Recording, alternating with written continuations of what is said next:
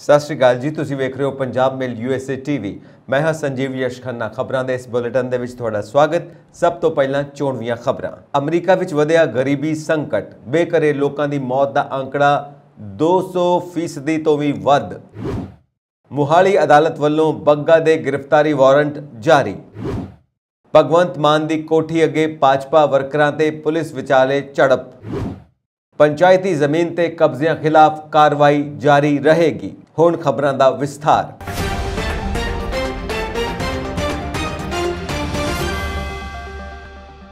ਦੁਨੀਆ ਦੇ ਸਭ ਤੋਂ ਅਮੀਰ ਦੇਸ਼ ਵਿੱਚ ਗਰੀਬੀ ਸੰਕਟ ਪੈਦਾ ਹੋ ਗਿਆ ਹੈ। ਕਰੋਨਾ ਮਹਾਮਾਰੀ ਦੇ ਵਿਚਕਾਰ ਅਮਰੀਕਾ ਦੇ ਲਾਸ ਐਂਜਲਿਸ ਕਾਉਂਟੀ ਵਿੱਚ ਪਿਛਲੇ ਸਾਲ ਹਰ ਰੋਜ਼ ਔਸਤਨ 5 ਬੇਘਰੇ ਲੋਕਾਂ ਦੀ ਜਾਨ ਚਲੀ ਗਈ। ਬੇਘਰੇ ਲੋਕਾਂ ਦੇ ਕੀਤੇ ਗਏ ਅਧਿਐਨ ਵਿੱਚ ਇਹ ਜਾਣਕਾਰੀ ਸਾਹਮਣੇ ਆਈ ਹੈ। ਅਧਿਐਨ ਰਿਪੋਰਟ ਦੀ ਸਹਿ ਲੇਖਕ ਮਾਰੀਆ ਰੇਵਨ ਦੇ ਅਨੁਸਾਰ ਮੌਤ ਦੇ ਅਜਿਹੇ ਆંકੜੇ ਯੁੱਧ ਦੌਰਾਨ ਵੀ ਸਾਹਮਣੇ ਨਹੀਂ ਆਉਂਦੇ ਨੇ।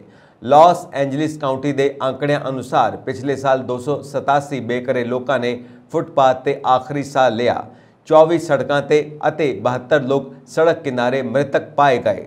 ਅਮਰੀਕੀ ਸ਼ਹਿਰਾਂ ਵਿੱਚ ਬੇਕਰੇ ਲੋਕਾਂ ਦੀਆਂ ਮੌਤਾਂ ਇੱਕ ਮਹਾਮਾਰੀ ਦਾ ਰੂਪ ਧਾਰਨ ਕਰ ਰਹੀਆਂ ਨੇ।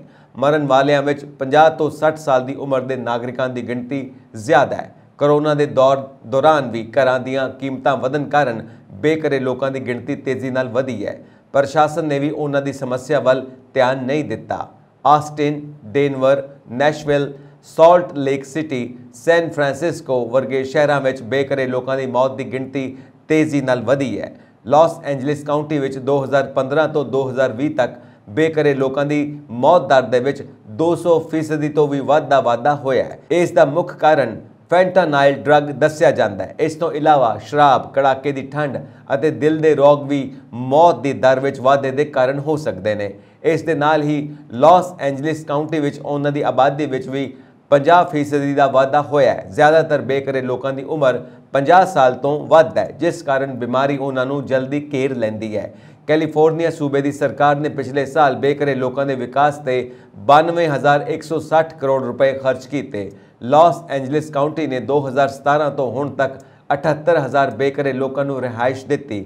ਇਸ ਦੇ ਬਾਵਜੂਦ ਸਰਕਾਰ ਦਾ ਕਹਿਣਾ ਹੈ ਕਿ ਬੇਕਰੇ ਲੋਕਾਂ ਦੀ ਗਿਣਤੀ ਦਾ ਪਤਾ ਲਗਾਉਣਾ ਮੁਸ਼ਕਿਲ ਹੈ, ਕਿਉਂਕਿ ਜਿੱਥੇ ਹਰ ਰੋਜ਼ 207 ਬੇਕਰੇ ਲੋਕਾਂ ਨੂੰ ਘਰ ਦਿੱਤੇ ਜਾ ਰਹੇ ਨੇ, ਉੱਥੇ ਹਰ ਰੋਜ਼ 227 ਲੋਕ ਬੇਘਰ ਹੋ ਰਹੇ ਨੇ। ਪੰਜਾਬ ਪੁਲਿਸ ਵੱਲੋਂ ਇੱਕ ਦਿਨ ਪਹਿਲਾਂ ਗ੍ਰਿਫਤਾਰ ਅਤੇ ਕੁਝ ਘੰਟਿਆਂ ਮਗਰੋਂ ਹਰਿਆਣਾ ਦੀ ਸਹਾਇਤਾ ਨਾਲ ਦਿੱਲੀ ਪੁਲਿਸ ਵੱਲੋਂ ਛੁਡਾਏ ਗਏ ਭਾਜਪਾ ਆਗੂ ਤੇਜਿੰਦਰਪਾਲ ਸਿੰਘ ਬੱਗਾ ਤੇ ਗ੍ਰਿਫਤਾਰੀ ਦੀ ਨਵੀਂ ਤਲਵਾਰ ਲਟਕ ਗਈ ਹੈ। ਮੁਹਾਲੀ ਅਦਾਲਤ ਨੇ ਉਸ ਖਿਲਾਫ ਪਿਛਲੇ ਮਹੀਨੇ ਦਰਜ ਹੋਏ ਕੇਸ ਦੇ ਸੰਬੰਧ ਵਿੱਚ ਅੱਜ ਗ੍ਰਿਫਤਾਰੀ ਵਾਰੰਟ ਜਾਰੀ ਕੀਤੇ ਨੇ।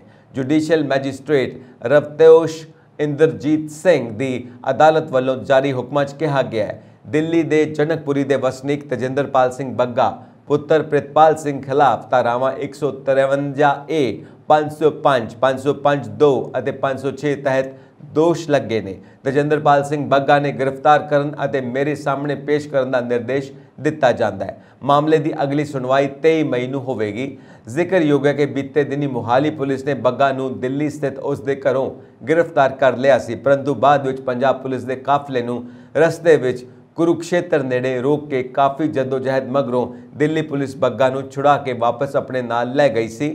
ਅੱਜ ਸਰਕਾਰੀ ਵਕੀਲ ਰਾਹੀਂ ਸਥਾਨਕ ਪੁਲਿਸ ਨੇ ਮੁਹਾਲੀ ਦੀ ਵਿਸ਼ੇਸ਼ ਅਦਾਲਤ ਵਿੱਚ ਅਰਜ਼ੀ ਦਾਇਰ ਕਰਕੇ ਭਾਜਪਾ ਆਗੂ ਤਜਿੰਦਰਪਾਲ ਸਿੰਘ ਬੱਗਾ ਦੇ ਗ੍ਰਿਫਤਾਰੀ ਵਾਰੰਟ ਜਾਰੀ ਕਰਨ ਦੀ ਮੰਗ ਕੀਤੀ। ਅਦਾਲਤ ਨੇ ਪੁਲਿਸ ਦੀਆਂ ਦਲੀਲਾਂ ਨੂੰ ਜਾਇਜ਼ ਮੰਨਦਿਆਂ ਬੱਗਾ ਦੇ ਗ੍ਰਿਫਤਾਰੀ ਵਾਰੰਟ ਜਾਰੀ ਕੀਤੇ ਨੇ। ਮੋਹਾਲੀ ਦੇ ਐਸਐਸਪੀ ਵਿਵੇਕਸ਼ੀਲ ਸੋਨੀ ਨੇ ਸ਼ੁੱਕਰਵਾਰ ਨੂੰ ਕੁਰੂਕਸ਼ੇਤਰ ਦੇ ਐਸਐਸਪੀ ਨੂੰ ਪੱਤਰ ਲਿਖ ਕੇ ਜਾਣਕਾਰੀ ਦਿੱਤੀ ਸੀ ਕਿ ਤਜਿੰਦਰਪਾਲ ਬੱਗਾ ਖਿਲਾਫ ਇੱਥੋਂ ਦੇ ਫੇਸ 4 ਸਥਿਤ ਪੰਜਾਬ ਪੁਲਿਸ ਦੇ ਸਟੇਟ ਸਾਈਬਰ ਸੈੱਲ ਥਾਣੇ ਵਿੱਚ ਪਹਿਲੀ ਅਪ੍ਰੈਲ ਨੂੰ ਧਾਰਾ 153 ਏ 505 2 506 ਤਹਿਤ ਕੇਸ ਦਰਜ ਕੀਤਾ ਗਿਆ ਹੈ। ਬੱਗਾ ਤੇ ਆਪ ਸੁਪਰੀਮੋ ਅਤੇ ਦਿੱਲੀ ਦੇ ਮੁੱਖ ਮੰਤਰੀ ਅਰਵਿੰਦ ਕੇਜਰੀਵਾਲ ਖਿਲਾਫ ਇਤਰਾਜ਼ਯੋਗ ਸ਼ਬਦਾਂ ਦੀ ਵਰਤੋਂ ਕਰਨ ਅਤੇ ਸਮਾਜ ਨੂੰ ਧਰਮ ਅਤੇ ਜ਼ਾਤ ਦੇ ਆਧਾਰ ਤੇ ਵੰਡਣ ਦੀ ਕੋਸ਼ਿਸ਼ ਕਰਨ ਦਾ ਕਥਿਤ ਦੋਸ਼ ਹੈ। ਇੱਥੇ ਐਫ ਆਈ ਆਰ ਨੂੰ ਆਧਾਰ ਬਣਾ ਕੇ ਮੋਹਾਲੀ ਪੁਲਿਸ ਦੇ ਇੱਕ ਵਿਸ਼ੇਸ਼ ਟੀਮ ਨੇ ਬੱਗਾ ਨੂੰ ਗ੍ਰਿਫਤਾਰ ਕਰ ਲਿਆ ਸੀ, ਪਰੰਤੂ ਬਾਅਦ ਵਿੱਚ ਦਿੱਲੀ ਪੁਲਿਸ ਦੇ ਇਸ਼ਾਰੇ ਤੇ ਹਰਿਆਣਾ ਪੁਲਿਸ ਨੇ ਪੰਜਾਬ ਪੁਲਿਸ ਦੇ ਕਾਫਲੇ ਨੂੰ ਕੁਰੂਕਸ਼ੇਤਰ ਨੇੜੇ ਰੋਕ ਲਿਆ ਸੀ। ਦਿੱਲੀ, ਹਰਿਆਣਾ ਅਤੇ ਮੋਹਾਲੀ ਪੁਲਿਸ ਦੇ ਅਧਿਕਾਰੀਆਂ ਵਿਚਕਾਰ ਜੱਦੋ ਜਹਿਦ ਤੋਂ ਬਾਅਦ ਦਿੱਲੀ ਪੁਲਿਸ ਬੱਗਾ ਨੂੰ ਛੁਡਾ ਕੇ ਆਪਣੇ ਨਾਲ ਲੈ ਗਈ ਸੀ। ਮੋਹਾਲੀ ਪੁਲਿਸ ਨੇ ਦਲੀਲ ਦਿੱਤੀ ਸੀ ਕਿ ਬੱਗਾ ਦੀ ਗ੍ਰਿਫਤਾਰੀ ਕਾਨੂੰਨ ਤਹਿਤ ਕੀਤੀ ਗਈ ਸੀ। ਉਹਨਾਂ ਕਿਹਾ ਕਿ ਭਾਜਪਾ ਆਗੂ ਨੂੰ ਪੰਜ ਨੋਟਿਸ ਭੇਜੇ ਗਏ ਸਨ, ਪਰ ਉਹ ਹਰ ਵਾਰ ਕੋਈ ਨਾ ਕੋਈ ਬਹਾਨਾ ਲਗਾ ਕੇ ਜਾਂਚ ਵਿੱਚ ਸ਼ਾਮਿਲ ਹੋਣ ਤੋਂ ਟਾਲਾ ਵਟਦਾ ਆ ਰਿਹਾ ਸੀ।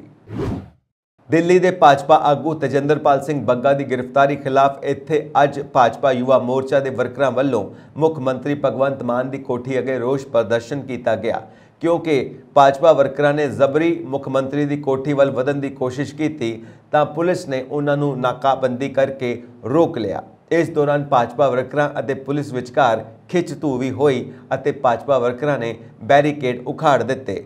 ਪੁਲਿਸ ਨੇ ਕਾਫੀ ਜਦੋਜਹਿਦ ਮਗਰੋਂ ਪ੍ਰਦਰਸ਼ਨਕਾਰੀਆਂ ਨੂੰ ਅੱਗੇ ਵਧਣ ਤੋਂ ਰੋਕਿਆ।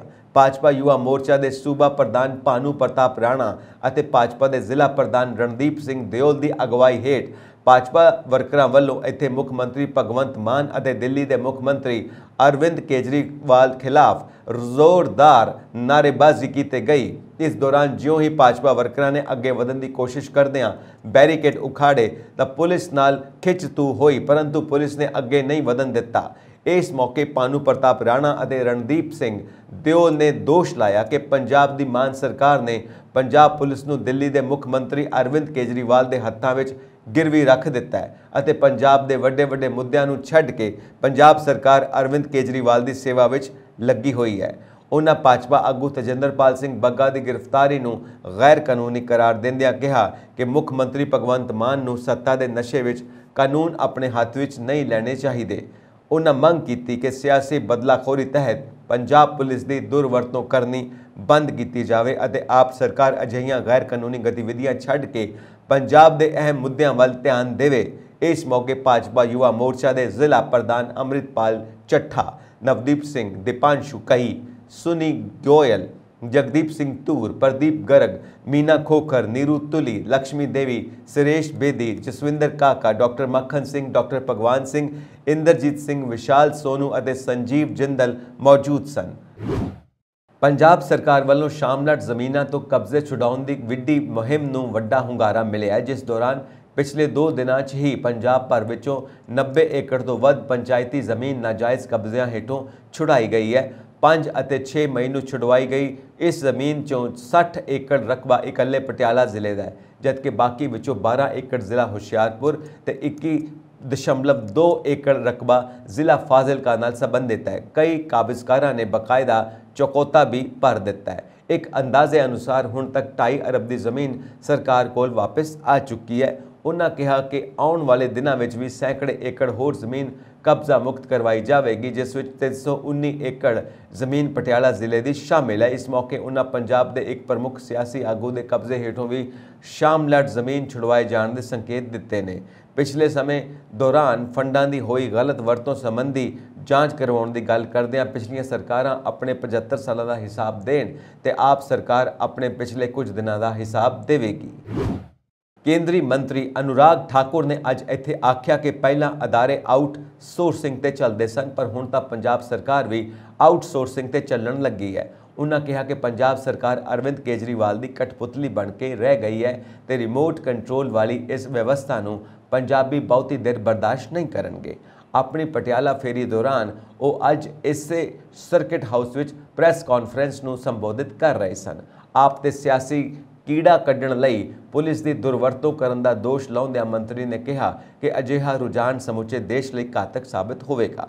ਉਹਨਾਂ ਕਿਹਾ ਕਿ ਇਹ ਸੂਬਿਆਂ ਦੀ ਪੁਲਿਸ ਫੋਰਸ ਦਰਮਿਆਨ ਟਕਰਾਅ ਕਰਵਾਉਣ ਦੀ ਮਾਰੂ ਰਣਨੀਤੀ ਹੈ। ਭਾਜਪਾ ਆਗੂ ਤਜਿੰਦਰਪਾਲ ਬੱਗਾ ਦੀ ਗ੍ਰਿਫਤਾਰੀ ਦੀ ਨਖੇਦੀ ਕਰਦਿਆਂ ਉਹਨਾਂ ਕਿਹਾ ਕਿ ਸਿਆਸੀ ਕਿੜ ਕੱਢਣ ਲਈ ਪੁਲਿਸ ਦੀ ਕੀਤੀ ਦੁਰਵਰਤੋਂ ਨਾਲ ਆਪ ਦਾ ਅਸਲੀ ਚਿਹਰਾ ਸਾਹਮਣੇ ਆ ਗਿਆ ਇਸੇ ਦੌਰਾਨ ਕੇਂਦਰੀ ਖੇਡ ਸੂਚਨਾ ਤੇ ਪ੍ਰਸਾਰਣ ਮੰਤਰੀ ਅਨੁਰਾਗ ਠਾਕੁਰ ਨੇ ਅੱਜ ਇੱਥੇ Netaji Subhash national institute of sports ਦੇ 61ਵੇਂ ਸਥਾਪਨਾ ਦਿਵਸ ਮੌਕੇ ਕਰਵਾਏ ਸਮਾਗਮ ਵਿੱਚ ਸ਼ਿਰਕਤ ਕੀਤੀ। ਉਹਨਾਂ ਕਿਹਾ ਕਿ ਸਰਹੱਦੀ ਸੂਬਾ ਹੋਣ ਕਰਕੇ ਕੇਂਦਰ ਸਰਕਾਰ ਪੰਜਾਬ ਨਾਲ ਹਰ ਤਰ੍ਹਾਂ ਦਾ ਸਹਿਯੋਗ ਕਰਨਾ ਚਾਹੁੰਦੀ ਹੈ, ਪਰ ਇਹ ਰਿਮੋਟ ਕੰਟਰੋਲ ਸਰਕਾਰ ਪੰਜਾਬ ਦੇ ਵਿਕਾਸ ਨੂੰ ਛੱਡ ਗਈ ਹੈ। ਸਮਾਗਮ ਮਗਰੋਂ ਮੀਡੀਆ ਨਾਲ ਗੱਲਬਾਤ ਕਰਦਿਆਂ ਉਹਨਾਂ ਕਿਹਾ ਕਿ ਅਗਲੇ ਸਾਲ ਤੋਂ ਸਾਰੇ ਰਾਜਾਂ ਤੇ ਜ਼ਿਲ੍ਹਿਆਂ ਵਿੱਚ ਵੱਡੀ ਗਿਣਤੀ ਖੇਡਾਂ ਸਮਾਗਮ ਕਰਵਾਏ ਜਾਣਗੇ। ਉਹਨਾਂ ਕਿਹਾ ਕਿ ਐਨਆਈਐਸ ਪਟਿਆਲਾ ਵਿੱਚ ਕੇਂਦਰ ਸਰਕਾਰ ਖੇਡਾਂ ਲਈ ਇਨਡੋਰ ਸਟੇਡੀਅਮ ਵਿੱਚ ਟਰੈਕ ਬਣਾਉਣ ਲਈ ਫੰਡ ਜਾਰੀ ਕਰ ਰਹੀ ਹੈ। ਵਿਧਾਨ ਸਭਾ ਵਿੱਚ ਵਿਰੋਧੀ ਧਿਰ ਦੇ ਨੇਤਾ ਪ੍ਰਤਾਪ ਸਿੰਘ ਬਾਜਵਾ ਨੇ ਆਮ ਆਦਮੀ ਪਾਰਟੀ ਦੀ ਸਰਕਾਰ ਤੇ ਕਾਂਗਰਸੀ ਵਰਗਾਂ ਉੱਤੇ ਝੂਠੇ ਮੁਕੱਦਮੇ ਦਰਜ ਕਰਕੇ ਖੁਦਕੁਸ਼ੀਆਂ ਕਰਨ ਲਈ ਮਜਬੂਰ ਕਰਨ ਦਾ ਦੋਸ਼ ਲਗਾਇਆ ਉਹ ਅੱਜ ਦੇਰ ਸ਼ਾਮੀ ਪਿੰਡ ਦੁਰਾਲੀ ਵਿੱਚ ਸੀਨੀਅਰ ਕਾਂਗਰਸੀ ਆਗੂ ਗੁਰਤਿਆਨ ਸਿੰਘ ਦੁਰਾਲ ਦੇ ਸੰਸਕਾਰ ਵਿੱਚ ਸ਼ਿਰਕਤ ਕਰਨ ਮੌਕੇ ਗੱਲ ਕਰ ਰਹੇ ਸਨ। ਇਸ ਮੌਕੇ ਕਾਂਗਰਸ ਦੇ ਸੂਬਾ ਪ੍ਰਧਾਨ ਅਮਰਿੰਦਰ ਸਿੰਘ, ਰਾਜਾ ਵੜਿੰਗ, ਸਾਬਕਾ ਮੰਤਰੀ ਬਲਬੀਰ ਸਿੰਘ ਸਿੱਧੂ, ਸਾਬਕਾ ਵਿਧਾਇਕ ਗੁਰਪ੍ਰੀਤ ਸਿੰਘ ਜੀਪੀ ਅਤੇ ਸਾਬਕਾ ਵਿਧਾਇਕ ਦਵਿੰਦਰ ਸਿੰਘ ਕੁਬਾਇਆ ਵੀ ਮੌਜੂਦ ਸਨ। ਸ਼੍ਰੀ ਬਾਜਵਾ ਨੇ ਕਿਹਾ ਕਿ ਗੁਰਤਿਆਨ ਸਿੰਘ ਅਤੇ ਉਸ ਦੇ ਪਰਿਵਾਰ ਦੇ ਪੰਜ ਹੋਰ ਮੈਂਬਰਾਂ ਨੂੰ ਝੂਠੇ ਕੇਸਾਂ ਵਿੱਚ ਉਲਝਾ ਕੇ ਜ਼ਲੀਲ ਕੀਤਾ ਜਾ ਰਿਹਾ ਸੀ, ਜਿਸ ਦੀ ਸੁਣਵਾਈ ਨਾ ਹੋਣ ਕਰਕੇ ਉਸ ਨੂੰ ਖੁਦਕੁਸ਼ੀ ਕਰਨ ਵਰਗਾ ਕਦਮ ਚੁੱਕਣਾ ਪਿਆ। ਉਹਨਾਂ ਕਿਹਾ ਕਿ ਇਹ ਬੇहद ਗੰਭੀਰ ਮਾਮਲਾ ਹੈ। ਉਹਨਾਂ ਕਾਂਗਰਸੀ ਆਗੂ ਨੂੰ ਖੁਦਕੁਸ਼ੀ ਕਰਨ ਲਈ ਮਜਬੂਰ ਕਰਨ ਵਾਲਿਆਂ ਖਿਲਾਫ ਇਰਾਦਾ ਕਤਲ ਦਾ ਮਾਮਲਾ ਦਰਜ ਕਰਨ ਲਈ ਮੰਗ ਕੀਤੀ। ਉਹਨਾਂ ਕਿਹਾ ਕਿ ਉਹ ਇਸ ਮਾਮਲੇ ਸੰਬੰਧੀ ਡੀਜੀਪੀ ਤੇ ਹੋਰ ਅਧਿਕਾਰੀਆਂ ਨਾਲ ਵੀ ਗੱਲਬਾਤ ਕਰਨਗੇ ਅਤੇ ਵਿਧਾਨ ਸਭਾ ਵਿੱਚ ਵੀ ਸਮੁੱਚਾ ਮਾਮਲਾ ਉਠਾਇਆ ਜਾਵੇਗਾ। ਕਾਂਗਰਸ ਦੇ ਸੂਬਾ ਪ੍ਰਧਾਨ ਅਮਰਿੰਦਰ ਸਿੰਘ ਰਾਜਾ ਵੜਿੰਗ ਨੇ ਵੀ ਆਮ ਆਦਮੀ ਪਾਰਟੀ ਉੱਤੇ ਤਿੱਖੇ ਹਮਲੇ ਕੀਤੇ ਅਤੇ ਕਾਂਗਰਸੀ ਵਰਕਰਾਂ ਨੂੰ ਬਦਲਾਖੋਰੀ ਦੀ ਭਾਵਨਾ ਨਾਲ ਝੂਠੇ ਕੇਸਾਂ ਵਿੱਚ ਖੁਆਰ ਕਰਕੇ ਮਾਨਸਿਕ ਤੌਰ ਤੇ ਪਰੇਸ਼ਾਨ ਕਰਨ ਦਾ ਦੋਸ਼ ਲਾਇਆ। ਇਸ ਮੌਕੇ ਸਾਬਕਾ ਸਿਹਤ ਮੰਤਰੀ ਬਲਬੀਰ ਸਿੰਘ ਸਿੱਧੂ ਨੇ ਆਖਿਆ ਕਿ ਮੁਹਾਲੀ ਹਲਕੇ ਵਿੱਚ ਉਹਨਾਂ ਦੇ ਹਮਾਇਤੀਆਂ ਨੂੰ ਲਗਾਤਾਰ ਪਰਚੀਆਂ ਰਾਹੀਂ ਪਰੇਸ਼ਾਨ ਕੀਤਾ ਜਾ ਰਿਹਾ ਹੈ। ਉਹਨਾਂ ਕਿਹਾ ਕਿ ਜੇਕਰ ਮੁੱਖ ਮੰਤਰੀ ਨੇ ਦਖਲ ਦੇ ਕੇ ਕਾਂਗਰਸੀਆਂ ਨਾਲ ਧੱਕੇਸ਼ਾਹੀ ਨਾ ਰੋਕੀ, ਤਾਂ ਪਾਰਟੀ ਸੜਕਾਂ ਤੇ ਉਤਰਨ ਤੋਂ ਗੁਰੇਜ਼ ਨਹੀਂ ਕਰੇਗੀ। ਸੀਬੀਆਈ ਨੇ ਅੱਜ 40 ਕਰੋੜ ਰੁਪਏ ਤੋਂ ਵੱਧ ਦੇ ਕਥਿਤ ਬੈਂਕ ਧੋਖਾਧੜੀ ਦੇ ਮਾਮਲੇ ਵਿੱਚ ਸਬੰਧਤ ਕੇਸ ਵਿੱਚ ਹਲਕਾ ਅਮਰਗੜ੍ਹ ਦੇ ਆਮ ਆਦਮੀ ਪਾਰਟੀ ਦੇ ਵਿਧਾਇਕ ਪ੍ਰੋਫੈਸਰ ਜਸਵੰਤ ਸਿੰਘ ਗੱਜਣ ਮਾਜਰਾ ਦੇ ਸੰਗਰੂਰ ਵਿਚਲੇ ਤਿੰਨ ਟਿਕਾਣਿਆਂ ਤੇ ਛਾਪੇ ਮਾਰੇ।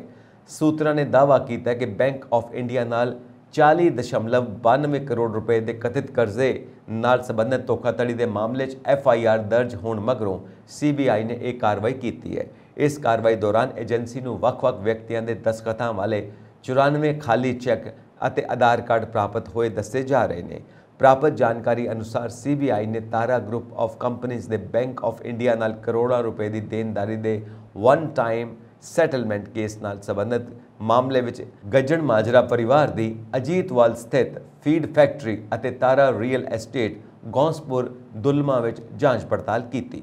ਜਾਂਚ ਟੀਮ ਨੇ ਇਸ ਸੰਬੰਧੀ ਕੁਝ ਵੀ ਦੱਸਣ ਤੋਂ ਇਨਕਾਰ ਕਰ ਦਿੱਤਾ ਹੈ। ਟੀਮ ਵੱਲੋਂ ਲੰਬਾ ਸਮਾਂ ਅਜੀਤਵਾਲ ਫੈਕਟਰੀ, ਘਰ ਅਤੇ ਤਾਰਾ ਐਸਟੇਟ ਕਲੋਨੀ 'ਚ ਰਿਕਾਰਡ ਦੀ ਜਾਂਚ ਕੀਤੀ ਗਈ। ਸੀਬੀਆਈ ਦੇ ਬੁਲਾਰੇ ਆਰਸੀ ਜੋਸ਼ੀ ਨੇ ਦੱਸਿਆ, ਛਾਪਿਆਂ ਦੀ ਕਾਰਵਾਈ ਦੌਰਾਨ 16.57 ਲੱਖ ਰੁਪਏ ਦੇ ਕਰੀਬੀ ਨਕਦੀ 88 ਵਿਦੇਸ਼ੀ ਨੋਟ, ਜਾਇਦਾਦ ਦੇ ਕੁਝ ਦਸਤਾਵੇਜ਼, ਕਈ ਬੈਂਕ ਖਾਤੇ ਤੇ ਹੋਰ ਇਤਰਾਜ਼ਯੋਗ ਦਸਤਾਵੇਜ਼ ਬਰਾਮਦ ਹੋਏ। ਅਧਿਕਾਰੀਆਂ ਨੇ ਦੱਸਿਆ ਕਿ ਸੀਬੀਆਈ ਨੇ ਲੁਧਿਆਣਾ ਸਥਿਤ ਬੈਂਕ ਆਫ ਇੰਡੀਆ ਦੀ ਸ਼ਿਕਾਇਤ ਤੇ ਤਾਰਾ ਕਾਰਪੋਰੇਸ਼ਨ ਲਿਮਟਿਡ, ਜਿਸ ਦਾ ਨਾਮ ਬਦਲ ਕੇ ਮਲੌਦ ਐਗਰੋ ਲਿਮਟਿਡ ਰੱਖਿਆ ਗਿਆ ਹੈ। ਗੌਂਸਪੁਰਾ ਤੇ ਹੋਰਨਾਂ ਖਿਲਾਫ ਕੇਸ ਦਰਜ ਕੀਤਾ ਹੈ। ਵਿਧਾਇਕ ਜਸਵੰਤ ਸਿੰਘ ਗੱਜਣ ਮਾਜਰਾ ਇਸ ਕੰਪਨੀ ਦੇ ਡਾਇਰੈਕਟਰ ਦੇ ਗਰੰਟਰ ਸਨ। ਉਹਨਾਂ ਕਿਹਾ ਕਿ ਵਿਧਾਇਕ ਦੇ ਭਰਾਵਾਂ ਬਲਵੰਤ ਸਿੰਘ ਤੇ ਕੁਲਵੰਤ ਸਿੰਘ ਅਤੇ ਉਹਨਾਂ ਦੇ ਭਤੀਜੇ ਤਜਿੰਦਰ ਸਿੰਘ ਸਾਰੇ ਡਾਇਰੈਕਟਰ ਤੇ ਗਰੰਟਰ ਖਿਲਾਫ ਵੀ ਕੇਸ ਦਰਜ ਕੀਤਾ ਗਿਆ ਅਧਿਕਾਰੀਆਂ ਨੇ ਦੱਸਿਆ ਕਿ ਇਸ ਕੇਸ ਵਿੱਚ ਇੱਕ ਹੋਰ company, Tara health foods limited ਨੂੰ ਵੀ ਮੁਲਜ਼ਮ ਵਜੋਂ ਨਾਮਜ਼ਦ ਕੀਤਾ ਗਿਆ ਹੈ। ਪੰਜਾਬ ਦੇ ਵਿੱਤ ਮੰਤਰੀ ਹਰਪਾਲ ਸਿੰਘ ਚੀਮਾ ਨੇ ਆਖਿਆ ਕਿ ਉਦਯੋਗਾਂ ਨੂੰ ਉਤਸ਼ਾਹਿਤ ਕਰਨ ਲਈ ਪੰਜਾਬ ਦੀ ਆਰਥਿਕਤਾ ਮੁੜ ਲਈ ਤੇ ਆਵੇਗੀ ਤੇ ਲੋਕਾਂ ਦੇ ਸੁਝਾਵਾਂ ਨਾਲ ਸੂਬੇ ਦੇ ਸਰਬਪੱਖੀ ਵਿਕਾਸ ਲਈ ਯੋਜਨਾਵਾਂ ਤਿਆਰ ਕੀਤੀਆਂ ਜਾਣਗੀਆਂ। ਉਹ ਅੱਜ ਇੱਥੇ ਜ਼ਿਲ੍ਹਾ ਪ੍ਰਬੰਧਕੀ ਕੰਪਲੈਕਸ ਵਿੱਚ ਮਾਲਵਾ ਖੇਤਰ ਦੇ ਚਾਰ ਜ਼ਿਲ੍ਹਿਆਂ, ਸੰਗਰੂਰ, ਪਟਿਆਲਾ, ਬਰਨਾਲਾ ਅਤੇ ਮਾਲੇਰਕੋਟਲਾ ਦੇ ਸਨਅਤਕਾਰਾਂ, ਵਪਾਰੀਆਂ ਤੇ ਵਿਧਾਇਕਾਂ ਨਾਲ ਜਨਤਾ ਬਜਟ ਬਾਰੇ ਸੁਝਾਅ ਪ੍ਰਾਪਤ ਕਰਨ ਲਈ ਰੱਖੀ ਮੀਟਿੰਗ ਨੂੰ ਸੰਬੋਧਨ ਕਰ ਰਹੇ ਸਨ। ਵਿੱਤ ਮੰਤਰੀ ਨੇ ਸਨਅਤਕਾਰਾਂ ਨੂੰ ਭਰੋਸਾ ਦਿੱਤਾ ਕਿ ਜਨਤਾ ਬਜਟ ਦਾ ਖਰੜਾ ਤਿਆਰ ਕਰਨ ਮੌਕੇ ਉਹਨਾਂ ਦੇ ਸੁਝਾਵਾਂ ਨੂੰ ਜ਼ਰੂਰ ਵਿਚਾਰਿਆ ਜਾਵੇਗਾ। ਉਹਨਾਂ ਕਿਹਾ ਕਿ ਸੂਬਾ ਸਰਕਾਰ ਆਨਲਾਈਨ ਸੁਝਾਅ ਲੈਣ ਤੋਂ ਇਲਾਵਾ ਉਹ ਤੇ ਉਹਨਾਂ ਦੀ ਟੀਮ ਲਗਾਤਾਰ ਕਈ ਜ਼ਿਲ੍ਹਿਆਂ ਦਾ ਦੌਰਾ ਕਰਕੇ ਜ਼ਮੀਨੀ ਪੱਧਰ ਤੇ ਲੋਕਾਂ ਦੇ ਸੁਝਾਅ ਲੈ ਰਹੇ ਨੇ। ਚੀਮਾ ਨੇ ਕਿਹਾ ਕਿ ਬੜੇ ਦੁੱਖ ਦੀ ਗੱਲ ਹੈ ਕਿ ਸੂਬੇ ਦੀਆਂ ਪਿਛਲੀਆਂ ਸਰਕਾਰਾਂ ਨੇ ਉਦਯੋਗਾਂ ਨਾਲ ਸੰਬੰਧਿਤ ਸਮੱਸਿਆਵਾਂ ਦੇ ਹੱਲ ਲਈ ਕੋਈ ਠੋਸ ਕਦਮ ਨਹੀਂ ਚੁੱਕੇ, ਜਿਸ ਕਾਰਨ ਸਨਅਤੀ ਵਿਕਾਸ ਸਹੀ ਢੰਗ ਨਾਲ ਨਹੀਂ ਹੋ ਸਕਿਆ। ਪੰਜਾਬ ਪ੍ਰਦੇਸ਼ ਕਾਂਗਰਸ ਕਮੇਟੀ ਦੇ ਪ੍ਰਧਾਨ ਅਮਰਿੰਦਰ ਸਿੰਘ ਰਾਜਾ ਵੜਿੰਗ ਅੱਜ ਖਮਾਣੋ ਪੁੱਜੇ। ਇੱਥੇ ਪੁੱਜਣ ਤੇ ਉਹਨਾਂ ਦਾ ਸਾਬਕਾ ਵਿਧਾਇਕ ਗੁਰਪ੍ਰੀਤ ਸਿੰਘ ਜੀਪੀ ਡਾਕਟਰ ਅਮਰਜੀਤ ਸੋਹਲ, ਹਰਬੰਸ ਸਿੰਘ ਪੰਦੇਰ, ਸੁਰਿੰਦਰ ਸਿੰਘ ਰਾਮਗੜ੍ਹ ਤੇ ਹੋਰ ਆਗੂਆਂ ਨੇ ਸਵਾਗਤ ਕੀਤਾ। ਇਸ ਮੌਕੇ ਐਸ ਐਸ ਫਾਰਮ ਖਮਾਣੋ ਵਿੱਚ ਜੁੜੇ ਕਾਂਗਰਸੀ ਆਗੂਆਂ ਅਤੇ ਵਰਕਰਾਂ ਦੇ ਵੱਡੇ ਇਕੱਠ ਨੂੰ ਸੰਬੋਧਨ ਕਰਦਿਆਂ ਰਾਜਾ ਵੜਿੰਗ ਨੇ ਕਿਹਾ ਕਿ ਪੰਜਾਬ ਵਿੱਚ ਕਾਂਗਰਸ ਨੂੰ ਮਜ਼ਬੂਤ ਕਰਨ ਲਈ ਉਹ ਕੋਈ ਕਸਰ ਬਾਕੀ ਨਹੀਂ ਛੱਡਣਗੇ ਅਤੇ ਪਾਰਟੀ ਵਿੱਚ ਅਨੁਸ਼ਾਸਨ ਨੂੰ ਹਰ ਹਿੱਲੇ ਕਾਇਮ ਰੱਖਿਆ ਜਾਵੇਗਾ ਅਤੇ ਅਨੁਸ਼ਾਸਨ ਭੰਗ ਕਰਨ ਵਾਲਿਆਂ ਨੂੰ ਪਾਰਟੀ ਵਿੱਚੋਂ ਬਾਹਰ ਦਾ ਰਸਤਾ ਵਿਖਾਇਆ ਜਾਵੇਗਾ। ਉਹਨਾਂ ਇਸ ਵਾਰ ਦੀਆਂ ਵਿਧਾਨ ਸਭਾ ਚੋਣਾਂ ਵਿੱਚ ਹੋਈ ਕਾਂਗਰਸ ਦੀ ਹਾਰ ਦਾ ਜ਼ਿੰਮੇਵਾਰ ਪਾਰਟੀ ਦੇ ਵੱਡੇ ਆਗੂਆਂ ਵਿਚਾਲੇ ਚੱਲੀ ਖਿੱਚੋ ਤਾਣ ਨੂੰ ਠਹਿਰਾਇਆ। ਉਹਨਾਂ ਕਿਹਾ ਕਿ ਅਜੇ ਵਿਧਾਨ ਸਭਾ ਦੀਆਂ ਚੋਣਾਂ ਲਈ 4 ਸਾਲ 10 ਮਹੀਨੇ ਦਾ ਸਮਾਂ ਪਿਆ ਹੈ ਤੇ ਜੇਕਰ ਅਸੀਂ ਲਾਮਬੰਦ ਹੋ ਜਾਈਏ ਤਾਂ ਆਪਣੇ ਘਰ ਨੂੰ ਹੀ ਠੀਕ ਕਰ ਲਈਏ ਤਾਂ ਪੰਜਾਬ ਵਿੱਚ ਵਾਪਸ ਸਰਕਾਰ ਬਣਾ ਸਕਦੇ ਹਾਂ। ਹਿਮਾਚਲ ਪ੍ਰਦੇਸ਼ ਤੋਂ ਵੱਡੀ ਖਬਰ ਸਾਹਮਣੇ ਆਈ ਹੈ। ਹਿਮਾਚਲ ਵਿਧਾਨ ਸਭਾ ਦੇ ਬਾਹਰ ਮੇਨ ਗੇਟ ਤੇ ਖਾਲਿਸਤਾਨੀ ਝੰਡੇ ਲੱਗੇ ਮਿਲੇ। ਪੁਲਿਸ ਸੂਚਨਾ ਮਿਲਦੇ ਹੀ ਮੌਕੇ ਤੇ ਪਹੁੰਚੀ ਅਤੇ ਵਿਧਾਨ ਸਭਾ ਦੇ ਗੇਟ ਤੇ ਲੱਗੇ ਝੰਡਿਆਂ ਨੂੰ ਉਤਾਰ ਦਿੱਤਾ। ਪੁਲਿਸ ਮੁਤਾਬਿਕ ਇੱਥੋਂ ਦੇ ਸਥਾਨਕ ਲੋਕਾਂ ਨੇ ਸਵੇਰੇ ਵਿਧਾਨ ਸਭਾ ਦੇ ਮੇਨ ਗੇਟ ਤੇ ਖਾਲਿਸਤਾਨੀ ਝੰਡੇ ਲੱਗੇ ਹੋਣ ਦੀ ਸੂਚਨਾ ਦਿੱਤੀ। ਪੁਲਿਸ ਇਸ ਮਾਮਲੇ ਦੀ ਜਾਂਚ ਵਿੱਚ ਗੰਭੀਰਤਾ ਨਾਲ ਜੁਟ ਗਈ ਹੈ। ਦੱਸ ਦਈ ਹੈ ਕਿ ਵਿਧਾਨ ਸਭਾ ਦੀਆਂ ਕੰਧਾਂ ਤੇ ਵੀ ਖਾਲਿਸਤਾਨ ਲਿਖਿਆ ਗਿਆ ਹੈ। ਅਜੇ ਇਹ ਪਤਾ ਨਹੀਂ ਲੱਗ ਸਕਿਆ ਕਿ ਇਹ ਝੰਡੇ ਕਿਸ ਨੇ ਲਗਾਏ। ਫਿਲਹਾਲ ਪੁਲਿਸ ਸਥਾਨਕ ਲੋਕਾਂ ਤੋਂ ਪੁੱਛਗਿੱਛ ਕਰਕੇ ਇਹ ਪਤਾ ਲਗਾਉਣ ਦੀ ਕੋਸ਼ਿਸ਼ ਕਰ ਰਹੀ ਹੈ ਕਿ ਆਖਿਰਕਾਰ ਇਹ ਝੰਡੇ ਕਿਸ ਨੇ ਅਤੇ ਕਿਉਂ ਲਾਏ ਨੇ। ਇੱਥੇ ਇਹ ਵੀ ਦੱਸਣਯੋਗ ਹੈ ਕਿ ਖੁਫੀਆ ਵਿਭਾਗ ਨੇ 26 ਮਾਰਚ ਨੂੰ ਹੀ ਇਸ ਦਾ ਅਲਰਟ ਜਾਰੀ ਕੀਤਾ ਸੀ। ਖੁਫੀਆ ਵਿਭਾਗ ਨੇ ਦੱਸਿਆ ਕਿ ਖਾਲਿਸਤਾਨੀ ਅਤਵਾਦੀ ਸੰਗਠਨ ਸਿੱਖ ਫੋਰ ਜਸਟਿਸ ਦੇ ਚੀਫ ਗੁਰਪਤਵੰਤ ਪੰਨੂ ਨੇ ਚਿੱਠੀ ਜਾਰੀ ਕਰਕੇ ਹਿਮਾਚਲ ਪ੍ਰਦੇਸ਼ ਦੇ ਮੁੱਖ ਮੰਤਰੀ ਨੂੰ ਧਮਕੀ ਦਿੰਦੇ ਹੋਏ ਕਿਹਾ ਸੀਗਾ ਕਿ ਉਹ ਸ਼ਿਮਲਾ ਵਿੱਚ ਖਾਲਿਸਤਾਨ ਦਾ ਝੰਡਾ ਲਹਿਰਾਇਆ ਜਾਏਗਾ। ਹਾਲਾਂਕਿ ਅਜੇ ਤੱਕ ਇਹ ਸਾਫ਼ ਨਹੀਂ ਹੋ ਸਕਿਆ ਕਿ ਝੰਡਾ ਕਿਸ ਨੇ ਲਾਇਆ। ਉੱਥੇ ਹੀ ਹਿਮਾਚਲ ਦੇ ਗਵਾਂਢੀ ਸੂਬਿਆਂ ਵਿੱਚ ਲਗਾਤਾਰ ਵੱਧਦੀਆਂ ਅਤਵਾਦ ਫੜੇ ਜਾਣ ਦੀਆਂ ਘਟਨਾਵਾਂ ਨੂੰ ਲੈ ਕੇ ਹਿਮਾਚਲ ਸਰਕਾਰ ਨੇ ਵੀ ਚੌਕਸੀ ਅਤੇ ਸੁਰੱਖਿਆ ਵਧਾਈ ਸੀ। ਇਸ ਦੇ ਬਾਵਜੂਦ ਇਸ ਤਰ੍ਹਾਂ ਦੀ ਵਾਰਦਾਤ ਹੋ ਜਾਣਾ ਸੁਰੱਖਿਆ ਵਿਵਸਥਾ ਤੇ ਵੱਡਾ ਸਵਾਲੀਆ ਚਿੰਨ੍ਹ ਖੜਾ ਕਰਦਾ ਹੈ। ਸ਼੍ਰੋਮਣੀ ਗੁਰਦੁਆਰਾ ਪ੍ਰਬੰਧਕ ਕਮੇਟੀ ਵੱਲੋਂ 328 ਸਰੂਪਾਂ ਦਾ ਹਿਸਾਬ ਮੰਗਣ ਗਏ ਸਿੱਖ ਜਥੇਬੰਦੀਆਂ ਦੇ ਵਿੱਚੋਂ ਇੱਕ ਨੁਮਾਇੰਦਾ ਸੁਰਜੀਤ ਸਿੰਘ ਖੋਸਾ ਨੂੰ 19 ਮਹੀਨੇ ਜੇਲ੍ਹ ਕੱਟਣ ਤੋਂ ਬਾਅਦ ਅੱਜ ਜਿਵੇਂ ਹੀ ਜੇਲ੍ਹ ਚੋਂ ਬਾਹਰ ਆਏ, ਉਹਨਾਂ ਵੱਲੋਂ ਸ਼੍ਰੋਮਣੀ ਗੁਰਦੁਆਰਾ ਪ੍ਰਬੰਧਕ ਕਮੇਟੀ ਅਤੇ ਜਥੇਦਾਰ ਸ਼੍ਰੀ ਅਕਾਲ ਤਖਤ ਸਾਹਿਬ ਦੇ ਖਿਲਾਫ ਜੰਮ ਕੇ ਪੜਾਸ ਕੱਢੀ। ਉੱਥੇ ਹੀ ਸੁਰਜੀਤ ਸਿੰਘ ਖੋਸਾ ਦਾ ਕਹਿਣਾ ਹੈ ਕਿ ਅਸੀਂ 328 ਸਰੂਪਾਂ ਦਾ ਹਿਸਾਬ ਜ਼ਰੂਰ ਲਵਾਂਗੇ ਅਤੇ ਸ਼੍ਰੋਮਣੀ ਕਮੇਟੀ ਦੀਆਂ ਚੋਣਾਂ ਜਦ ਹੋ ਜਾਣਗੀਆਂ, ਉਸ ਤੋਂ ਬਾਅਦ ਬੰਦੀ ਸਿੰਘਾਂ ਨੂੰ ਤਾਂ ਇਹ ਹਾਥੀ ਤੇ ਬਿਠਾ ਕੇ ਹੀ ਬਾਹਰ ਲਿਆਉਣਗੇ। ਬੰਦੀ ਸਿੰਘਾਂ ਦੀ ਰਿਹਾਈ ਨੂੰ ਲੈ ਕੇ ਇੱਕ ਵਾਰ ਫਿਰ ਤੋਂ ਸਿੱਖ ਸੰਗਤਾਂ ਅਤੇ ਸਿੱਖ ਨੁਮਾਇੰਦਿਆਂ ਵੱਲੋਂ ਵੱਡੇ ਬਿਆਨ ਦਿੱਤੇ ਜਾ ਰਹੇ ਨੇ। ਉੱਥੇ ਹੀ ਸੁਰਜੀਤ ਸਿੰਘ ਖੋਸਾ, ਜੋ ਕਿ 19 ਮਹੀਨੇ ਜੇਲ੍ਹ 'ਚ ਰਹਿਣ ਤੋਂ ਬਾਅਦ ਜਿਸ ਤਰ੍ਹਾਂ ਦੀ ਹੀ ਸੱਚਖੰਡ ਸ੍ਰੀ ਦਰਬਾਰ ਸਾਹਿਬ ਨਤਮਸਤਕ ਹੋਣ ਲਈ ਪਹੁੰਚੇ, ਰਸਤੇ ਵਿੱਚ ਹੈਰੀਟੇਜ ਸਟਰੀਟ ਤੇ ਚੱਲ ਰਹੇ ਭਾਈ ਬਲਦੇਵ ਸਿੰਘ ਵਡਾਲਾ ਦੇ ਧਰਨੇ ਵਿੱਚ ਉਹਨਾਂ ਨੇ ਸਨਮਾਨਿਤ ਕੀਤਾ ਗਿਆ। ਉੱਥੇ ਹੀ ਸੁਰਜੀਤ ਸਿੰਘ ਖੋਸਾ ਦਾ ਸਿੱਖ ਸੰਗਤਾਂ ਵੱਲੋਂ ਸਨਮਾਨ ਵੀ ਕੀਤਾ ਗਿਆ। ਪੱਤਰਕਾਰਾਂ ਨਾਲ ਗੱਲਬਾਤ ਕਰਦੇ ਹੋਏ ਸੁਰਜੀਤ ਸਿੰਘ ਖੋਸਾ ਨੇ ਕਿਹਾ ਕਿ ਉਹ 19 ਮਹੀਨੇ ਜੇਲ੍ਹ 'ਚ ਰਹਿ ਕੇ ਵਾਪਸ ਆਏ ਨੇ, ਲੇਕਿਨ ਉਹਨਾਂ ਨੂੰ ਬਾਹਰ ਦੀਆਂ ਘਟਨਾਵਾਂ ਦਾ ਬਿਲਕੁਲ ਨਹੀਂ ਪਤਾ, ਲੇਕਿਨ 328 ਰੁਪਏ ਦਾ ਹਿਸਾਬ ਅਸੀਂ ਲੈ ਕੇ ਹੀ ਛੱਡਾਂਗੇ। ਉੱਥੇ ਹੀ ਬੰਦੀ ਸਿੰਘਾਂ ਦੀ ਰਿਹਾਈ ਨੂੰ ਲੈ ਕੇ ਸੁਰਜੀਤ ਸਿੰਘ ਖੋਸਾ ਨੇ ਕਿਹਾ ਕਿ ਸ਼੍ਰੋਮਣੀ ਅਕਾਲੀ ਦਲ ਪੰਜਾਬ ਵਿੱਚ ਸੱਤਾ ਤੋਂ ਬਾਹਰ ਹੋਈ ਹੈ ਤੇ ਅੱਜ ਉਹਨਾਂ ਨੂੰ ਪੰਥਕ ਇਕੱਠ ਕਰਨ ਦੀ ਜ਼ਰੂਰਤ ਪੈ ਰਹੀ ਹੈ, ਲੇਕਿਨ ਜਿਸ ਦਿਨ ਅਕਾਲੀ ਦਲ, ਬਾਦਲ, ਸ਼੍ਰੋਮਣੀ ਕਮੇਟੀ ਤੋਂ ਬਾਹਰ ਹੋਣਗੇ, ਤਦ ਇਹ ਸਾਡੇ ਬੰਦੀ ਸਿੰਘਾਂ ਨੂੰ ਹਾਥੀ ਤੇ ਬਿਠਾ ਕੇ ਬਾਹਰ ਲਿਆਉਣਗੇ।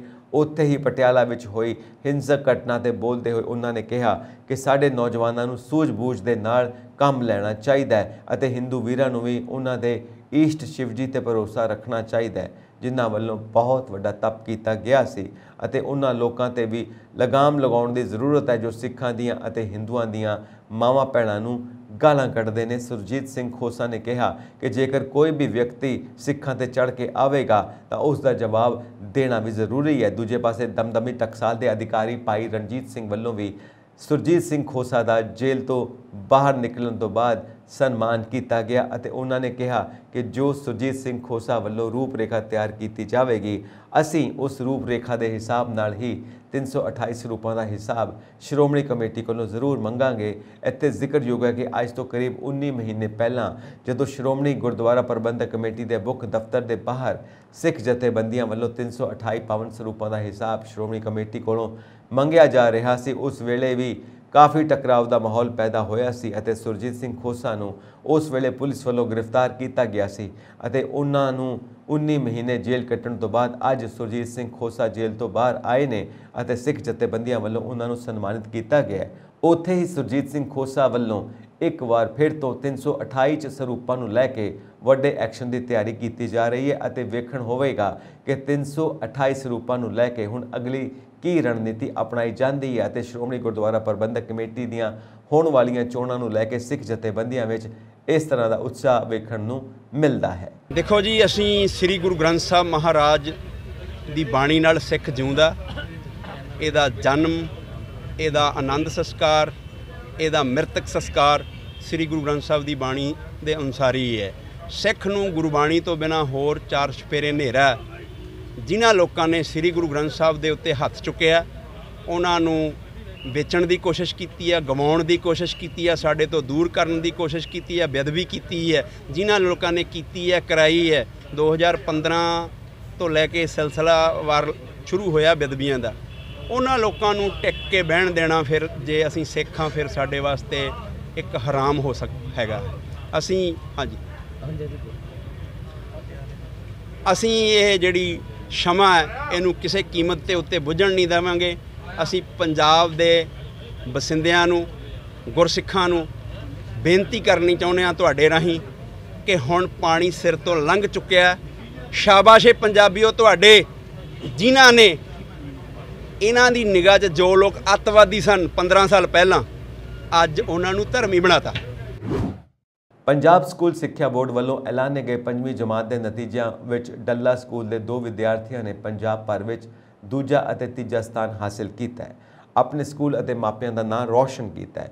ਇਸ ਖਾਸ ਮੌਕੇ ਦੌਰਾਨ ਅੱਜ ਪੰਜਾਬ ਦੇ ਸਿੱਖਿਆ ਮੰਤਰੀ ਮੀਤ ਹੇਰ ਨੇ ਡੱਲਾ ਪਿੰਡ ਪਹੁੰਚ, ਦੋਹਾਂ ਵਿਦਿਆਰਥੀਆਂ ਦੇ ਘਰ ਪਹੁੰਚ, ਉਹਨਾਂ ਨੂੰ ਸਨਮਾਨਿਤ ਕਰ ਵਧਾਈ ਦਿੱਤੀ ਤੇ ਉਹਨਾਂ ਦੇ ਚੰਗੇ ਭਵਿੱਖ ਦੀ ਕਾਮਨਾ ਕੀਤੀ। ਇਸ ਦੌਰਾਨ ਪੱਤਰਕਾਰਾਂ ਨਾਲ ਗੱਲਬਾਤ ਕਰਦਿਆਂ ਮੀਤ ਹੇਰ ਨੇ ਪੰਜਾਬ ਦੇ ਐਜੂਕੇਸ਼ਨ ਸਿਸਟਮ ਤੇ ਖੁੱਲ੍ਹ ਕੇ ਗੱਲਬਾਤ ਕੀਤੀ ਤੇ ਕਿਹਾ ਕਿ ਆਉਣ ਵਾਲੇ ਸਮੇਂ ਵਿੱਚ ਪੰਜਾਬ ਦਾ ਐਜੂਕੇਸ਼ਨ ਸਿਸਟਮ ਕਾਫੀ ਬਿਹਤਰ ਹੋਵੇਗਾ। ਦੇਖੋ, ਮੈਂ ਸਾਰਾ ਜਿੱਥੇ ਪੰਜਾਬ ਵਧਾਈ ਦਾ ਪਾਤਰ ਆ, ਉੱਥੇ ਤੁਹਾਡਾ ਜ਼ਿਲ੍ਹਾ ਸੁਲਤਾਨਪੁਰ, ਉਹਦੇ ਚ ਜਿਹੜਾ ਇਹ ਡੱਲਾ ਪਿੰਡ ਹੈ ਉਹਦੇ ਇਹ ਦੋ ਹੋਣਹਾਰ ਬੱਚੇ ਸਹਿਜਪ੍ਰੀਤ ਤੇ ਰਾਜਵੀਰ। ਇਹਨਾਂ ਦੇ ਮਾਤਾ ਪਿਤਾ ਦੋਨਾਂ ਦੇ ਸਕੂਲ ਸਟਾਫ ਸਾਰੇ ਵਧਾਈ ਦੇ ਪਾਤਰ ਨੇ ਕਿ ਜਿਹੜੇ ਬੱਚਿਆਂ ਨੇ 500 ਚੋਂ 500 ਜਿਹੜੇ ਅੰਕ ਆ ਜਿਹੜੇ ਉਹ ਪ੍ਰਾਪਤ ਕੀਤੇ ਆ ਤੇ ਪੰਜਾਬ ਚੋਂ ਜਿਹੜਾ ਦੂਜਾ ਤੇ ਤੀਜਾ ਜਿਹੜਾ ਨੰਬਰ ਲੈ ਕੇ ਆਏ ਨੇ। ਕਿਉਂਕਿ ਵੈਸੇ ਤਾਂ ਜਿਹੜੇ ਪਹਿਲੇ ਤੇ ਆਏ ਨੇ, ਉਹਨਾਂ ਦਾ ਵੀ 500 ਆਏ, ਉਮਰ ਦੇ ਹਿਸਾਬ ਨਾਲ ਪਹਿਲਾ, ਦੂਸਰਾ, ਤੀਸਰਾ ਕਰਤਾ। ਸੋ ਬੜੀ ਮਿਹਨਤ ਇਹਨਾਂ ਬੱਚਿਆਂ ਨੇ ਕੀਤੀ ਹੈ। ਬੜਾ ਹੁਨਰ ਹੈ ਇਹਨਾਂ ਬੱਚਿਆਂ ਦੇ ਵਿੱਚ। ਸੋ ਅੱਜ ਪੰਜਾਬ ਦੇ ਮਾਨਯੋਗ ਮੁੱਖ ਮੰਤਰੀ ਭਗਵੰਤ ਸਿੰਘ ਮਾਨ ਜੀ ਨੇ ਮੈਨੂੰ ਸਪੈਸ਼ਲ ਉਹਨਾਂ ਦਾ ਸੁਨੇਹਾ, ਉਹਨਾਂ ਦੀ ਵਧਾਈ ਲੈ ਕੇ ਅੱਜ ਮੈਂ ਇਹਨਾਂ ਦੇ ਘਰ ਆਇਆ। ਮੇਰੇ ਨਾਲ ਐਮਐਲਏ ਰੋਪੜ ਦਿਨੇਸ਼ ਚੱਡਾ ਜੀ ਆਏ ਨੇਗੇ। ਚੀਮਾ ਸਾਹਿਬ ਆਏ ਨੇਗੇ ਤੇ ਮਾਨਯੋਗ ਡੀਸੀ ਸਾਹਿਬ ਆਏ ਨੇਗੇ ਤੇ ਸਾਡੇ ਸ਼ਾਹਕੋਟ ਦੇ ਜਿਹੜੇ ਇਲੈਕਸ਼ਨ ਲੜੇ ਨੇ, ਸਾਡੇ ਹਲਕਾ ਇੰਚਾਰਜ ਵੀ ਇੱਥੇ ਮੌਜੂਦ ਨੇ।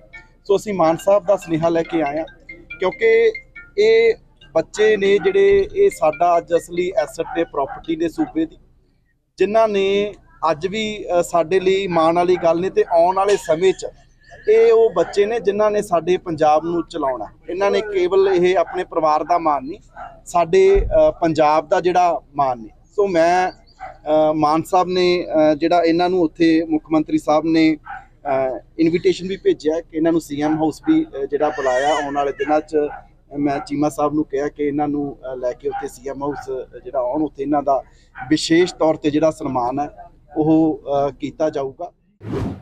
ਪੰਜਾਬ ਸਰਕਾਰ ਦੇ ਵੱਲੋਂ ਸਰਕਾਰੀ ਜ਼ਮੀਨਾਂ ਤੋਂ ਨਾਜਾਇਜ਼ ਕਬਜ਼ੇ ਹਟਾਉਣ ਦੀ ਸ਼ੁਰੂਆਤ ਕੀਤੀ ਗਈ ਮੁਹਿੰਮ ਦੇ ਤਹਿਤ ਗੁਰਦਾਸਪੁਰ ਸ਼ਹਿਰ ਦੇ ਹਰਦੋਛਨੀ ਰੋਡ ਤੇ ਸਥਿਤ ਇੱਕ ਖੋਖੇ ਦੇ ਮਾਲਕ ਖਿਲਾਫ ਕੁਝ ਵਿਭਾਗਾਂ ਵੱਲੋਂ ਸ਼ੁਰੂ ਕੀਤੀ ਗਈ ਕਾਰਵਾਈ ਦਾ ਮਾਮਲਾ ਲਗਾਤਾਰ ਗਰਮਾਉਂਦਾ ਜਾ ਰਿਹਾ ਹੈ। ਖੋਖੇ ਨੂੰ ਢਾਉਣ ਲਈ ਪ੍ਰਸ਼ਾਸਨ ਨੇ ਸਵੇਰੇ ਤੜਕੇ ਕਾਰਵਾਈ ਕਰਨੀ ਸੀ, ਪਰ ਇਸ ਬਾਰੇ ਜਦੋਂ ਗੁਰਦਾਸਪੁਰ ਤੋਂ ਕਾਂਗਰਸੀ ਵਿਧਾਇਕ ਬਰਜਿੰਦਰਜੀਤ ਸਿੰਘ ਪਹਾੜਾ ਨੂੰ ਪਤਾ ਲੱਗਾ, ਉਹ ਇਸ ਖੋਖੇ ਨੂੰ ਬਚਾਉਣ ਲਈ ਸਾਰੀ ਰਾਤ ਆਪਣੇ ਸਮਰਥਕਾਂ ਨਾਲ ਖੋਖੇ ਦੇ ਬਾਹਰ ਹੀ ਮੰਜਾ ਡਾ ਕੇ ਬੈਠੇ ਰਹੇ। ਉਹਨਾਂ ਕਿਹਾ ਕਿ ਸਿਆਸੀ ਸ਼ਹਿ ਤੇ ਇਸ ਗਰੀਬ ਖੋਖੇ ਵਾਲੇ ਨੂੰ ਟਾਰਗੇਟ ਕੀਤਾ ਜਾ ਰਿਹਾ ਹੈ। ਉਹਨਾਂ ਕਿਹਾ ਕਿ ਜੇਕਰ ਨਜਾਇਜ਼ ਕਬਜ਼ੇ ਹਟਾਉਣੇ ਨੇ, ਤਾਂ ਪੂਰੇ ਸ਼ਹਿਰ ਵਿੱਚੋਂ ਹਟਾਏ ਜਾਣ ਅਤੇ ਇਸ ਸੰਬੰਧੀ ਜਾਣਕਾਰੀ ਦਿੰਦਿਆਂ ਖੋਖੇ ਦੇ ਬਾਹਰ ਬੈਠੇ ਗੁਰਦਾਸਪੁਰ ਤੋਂ ਵਿਧਾਇਕ ਬਰਿੰਦਰ ਮੀਤ ਸਿੰਘ ਪਹਾੜਾ ਨੇ ਕਿਹਾ ਕਿ ਸਿਆਸੀ ਸ਼ਹਿ ਦੇ ਉੱਪਰ ਇਸ ਖੋਖੇ ਨੂੰ ਟਾਰਗੇਟ ਕੀਤਾ ਜਾ ਰਿਹਾ ਹੈ ਅਤੇ ਕੁਝ ਦਿਨਾਂ ਪਹਿਲਾਂ ਖੋਖੇ ਦਾ ਮੀਟਰ ਕੱਟ ਦਿੱਤਾ ਗਿਆ ਸੀ ਤੇ ਪ੍ਰਸ਼ਾਸਨ ਵੱਲੋਂ ਅੱਜ ਇਹ ਖੋਖਾ ਢਾਇਆ ਜਾਣਾ ਸੀ। ਪਰ ਜਦੋਂ ਉਹਨਾਂ ਨੂੰ ਪਤਾ ਲੱਗਾ ਤਾਂ ਪੂਰੀ ਰਾਤ ਇਸ ਖੋਖੇ ਦੀ ਨਿਗਰਾਨੀ ਵਿੱਚ ਸੜਕ ਉੱਪਰ ਹੀ ਸੁੱਤੇ ਰਹੇ। ਵਿਧਾਇਕ ਬਰਿੰਦਰਮੀਤ ਸਿੰਘ ਪਹਾੜਾ ਨੇ ਕਿਹਾ ਕਿ ਮੈਂ ਕਿਸੇ ਨਾਲ ਵੀ ਧੱਕਾ ਨਹੀਂ ਹੋਣ ਦਿਆਂਗਾ ਅਤੇ ਜੇਕਰ ਪ੍ਰਸ਼ਾਸਨ ਧੱਕੇ ਨਾਲ ਇਹ ਖੋਖਾ ਚੁੱਕਦਾ ਤਾਂ ਅਸੀਂ ਧਰਨਾ ਲਗਾ ਕੇ ਚੱਕਾ ਜਾਮ ਕਰਾਂਗੇ। ਜੇਕਰ ਉਸ ਤੋਂ ਬਾਅਦ ਗੁਰਦਾਸਪੁਰ ਸ਼ਹਿਰ ਦਾ ਮਾਹੌਲ ਖਰਾਬ ਹੁੰਦਾ ਹੈ, ਤਾਂ ਉਸ ਦਾ ਜ਼ਿੰਮੇਦਾਰ ਪ੍ਰਸ਼ਾਸਨ ਹੋਵੇਗਾ। ਇਹ ਸਨ ਅੱਜ ਦੀਆਂ ਮੁੱਖ ਮੁੱਖ ਖਬਰਾਂ। ਹੋਰ ਅਪਡੇਟਸ ਦੇ ਲਈ ਵੇਖਦੇ ਰਹੋ ਪੰਜਾਬ ਮੇਲ ਯੂਐਸਏ ਟੀਵੀ ਸਤਿ ਸ਼੍ਰੀ ਅਕਾਲ ਜੀ। ਸਰਕਾਰ ਨੂੰ ਡੁੱਬ ਕੇ ਮਰ ਜਾਣਾ ਚਾਹੀਦਾ। ਇੱਕ ਆਮ ਬੰਦੇ ਨਾਲ ਧੱਕਾ ਹੋ ਰਿਹਾ ਤੇ ਇੱਕ ਐਮਐਲਏ ਨੂੰ ਮੌਜੂਦਾ ਐਮਐਲਏ ਸਰਕਾਰ 'ਚ ਨਹੀਂ ਤੇ ਪਰ ਮੈਨੂੰ ਲੋਕਾਂ ਨੇ ਵਿਧਾਨ ਸਭਾ 'ਚ ਭੇਜਿਆ ਤੇ ਮੈਨੂੰ ਅੱਜ ਇੱਥੇ ਸੜਕ ਦੇ ਉੱਤੇ ਢਾਬੇ ਦੇ ਸਾਹਮਣੇ ਬੈਠਣਾ ਪਿਆ ਪੂਰੀ ਰਾਤ ਔਰ ਇੱਕ ਉਸ ਬੰਦੇ ਕਰਕੇ ਜਿਹਦਾ ਵਿਚਾਰੇ ਦਾ ਜਿਹੜਾ ਮਿਹਨਤ ਕਰਕੇ ਰੋਟੀ ਖਾਂਦਾ। ਕੋਈ ਕਹਿ ਦਿੰਦਾ ਜੀ ਇਹ ਜੀ ਫਲਾਣਾ, ਇਹਦਾ ਤੇ ਇਹਦੇ ਤੇ ਮਹਿਲ ਖੜੇ ਨੇ ਇਹਦੇ ਉਹ ਭਾਈ ਸਾਹਿਬ ਗਰੀਬ ਬੰਦੇ ਦਾ ਜਿਹੜਾ ਨਾ ਮਿਹਨਤ ਜਦੋਂ ਸਵੇਰੇ 3 ਵਜੇ ਉੱਠ ਕੇ ਤੇ ਉਹ ਆਪਦੀ ਕਿਰਤ ਕਰਦੇ ਨੇ, ਪੰ- ਇਹ ਸਾਰਾ ਟੱਬਰ ਲੱਗੇ ਹੁੰਦੇ ਆ ਤੇ ਜੇ ਕੋਈ ਮਿਹਨਤ ਕਰਕੇ ਬੰਦਾ ਆਪਣੀ ਰੋਟੀ ਖਾਂਦਾ, ਗੱਲ ਉਹ ਨਹੀਂ ਆ, ਗੱਲ ਤੇ ਇੰਨੀ ਕੀ ਆ ਸਿਰਫ ਕਿ ਜਿਹੜਾ ਤੀਜੇ ਨੰਬਰ ਤੇ ਕੋਈ ਬੰਦਾ ਇੱਥੋਂ ਆਇਆ, ਉਹ ਕਹਿੰਦਾ ਵੀ ਤੂੰ ਪਾੜੇ ਨੂੰ ਹਾਰ ਪਾਇਆ, ਗੱਡੀ ਰੋਕ ਕੇ ਢੋਲ ਵਜਾਇਆ ਤੇ ਤੈਨੂੰ ਨਹੀਂ ਮੈਂ ਛੱਡਣਾ, ਮੈਂ ਤੇ ਹਾਰਿਆ ਹੀ ਤੇਰੇ ਕਰਕੇ ਜਾਂ ਤੇ ਉਹਦੇ ਕੋਲ ਜਿਹੜੀ ਫਿਗਰ ਆਈ ਆ, ਉਹ ਇਹ ਆ ਵੀ 3-400 ਨਾਲ ਤੂੰ ਹਾਰਿਆ ਤੇ ਤੈਨੂੰ ਜਲਵੇ ਨੇ ਹਰਾਤਾ। ਭਾਈ ਸਾਹਿਬ 15000 ਨਾਲ ਹਾਰਿਓ ਤੁਸੀਂ। ਸੋ ਇਸ ਕਰਕੇ ਇਹ ਇਹ ਕਹਿਣਾ ਕਿ ਜੀ ਮੈਂ ਤੇ ਇਹਦਾ ਹੀ ਢਾਊਂਗਾ ਮੈਂ ਕਹਿੰਦਾ ਕਿ ਯਾਰ ਢਾਓ ਪਰ ਡੀਐਫਓ ਜੰਗਲਾਤ ਵਾਲਿਆਂ ਨੂੰ ਮੈਂ ਕਹਾਂਗਾ, ਆਪਦੇ ਦਫ਼ਤਰ ਤੋਂ ਬਾਹਰੋਂ ਸ਼ੁਰੂ ਹੋਵੋ। ਸਾਰੇ ਸ਼ਹਿਰ ਨਹੀਂ, ਸਾਰੇ ਪੰਜਾਬ 'ਚ ਨਹੀਂ, ਹਿੰਦੁਸਤਾਨ ਦੇ ਵਿੱਚ ਲੋਕ ਰੋਜੀ ਰੋਟੀ ਕਮਾਉਂਦੇ ਆ, ਸ਼ੈਡਾਂ ਦੇ ਸੜਕਾਂ ਦੇ ਉੱਤੇ ਲਾ ਕੇ ਖੋਖੇ। ਤੇ ਅੱਜ ਇਹ ਕੱਲਾ ਇੱਕ ਖੋਖਾ, ਆ ਆ ਮਗਰ ਮਾਰੋ ਹਾਂ ਝਾਤੀ ਆ ਸਪੈਦਾ ਐਡਾ ਮੋਟਾ ਲੱਗਾ। ਆ ਸਪੈਦੇ ਲੱਗੇ, ਇਹਦੇ ਪਿੱਛੇ ਜਾ ਕੇ ਜੇ ਉਹਨੇ ਖੋਖਾ ਲਾ ਲਿਆ ਤੇ ਕੀ ਆ ਇਸ ਬੰਦੇ ਤੇ ਕਿਹੜਾ ਗੁਨਾਹ ਕਰਤਾ ਗੁਨਾਹ ਇਹ ਆ ਕਿ ਬਰਿੰਦਰਮੀਤ ਸਿੰਘ ਪਾੜੇ ਨੂੰ ਜਿਹੜੀ ਇਹਨੇ ਵੋਟ ਪਾਤੀ ਤੇ 17 ਸਾਲਾਂ ਤੋਂ ਇੱਥੇ ਲੱਗਾ ਖੋਖਾ।